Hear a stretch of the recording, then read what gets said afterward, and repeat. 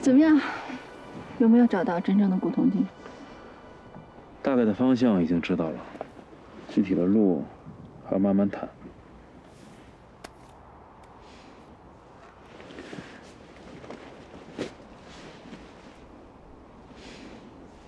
你让我想起我之前认识的一个女人，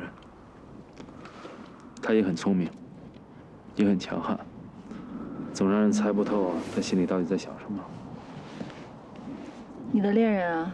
朋友，也是敌人。那他现在人在哪里啊？死了。很多年以前，在一次淘沙子的路上，他在河边休息，突然有一条蛇一下子从水里窜了出来。一切都发生的太快了。